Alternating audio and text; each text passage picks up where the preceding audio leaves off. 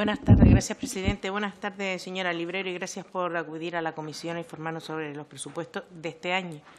Usted es la responsable de garantizar la cohesión territorial, la, accesibilidad, mejorar la calidad y la seguridad en el transporte, la conectividad de la ciudadanía extrapeninsular e incluso el derecho al mismo.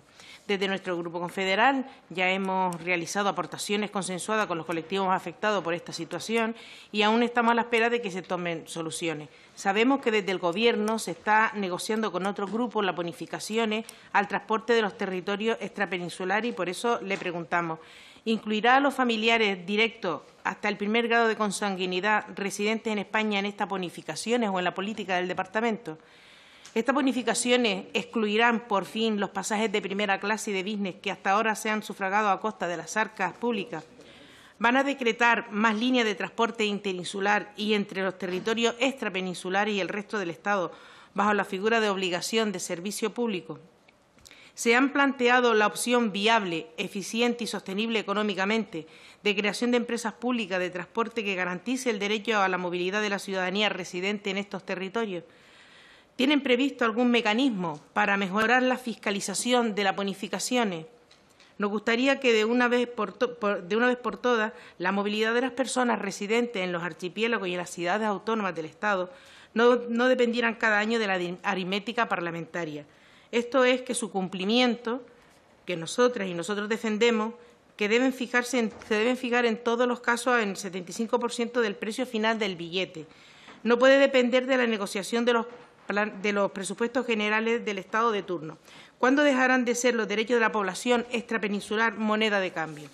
en otro orden, señora Librero, explique, por favor, cómo y qué no ha hecho para favorecer la intermodalidad, desarrollar el equilibrio territorial, dinamizar el tejido productivo, impulsar la conectividad circular y transversal, favoreciendo la generación de riqueza y futuro de nuestro país. Con un Gobierno que, además, el mayor esfuerzo inversor lo destina a la, alta velocidad insostenible y elitista, lo único que hace es profundizar en, la fragmentación territorial y la desigualdad social. Se lo dijimos el año pasado y se lo volvemos a repetir ahora.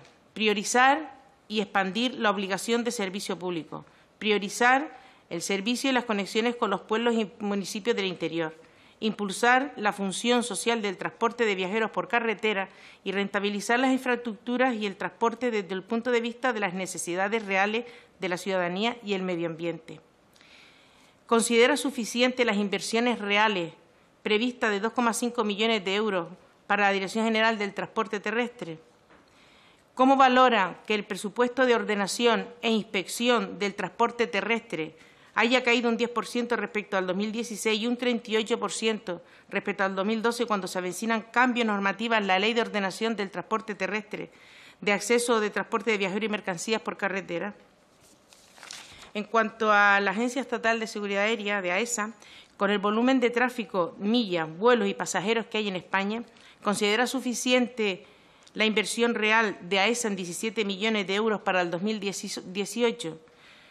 De los 17 millones de inversión real para esa, presupuestan 12 millones para las obras de rehabilitación de la nueva sede.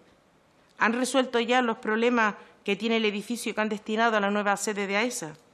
¿Considera suficiente una inversión de 2,9 millones de euros, un 34% menos que en 2017, en la Dirección General de Aviación Civil?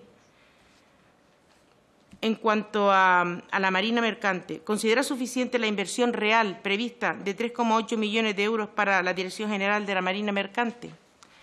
Muchas gracias.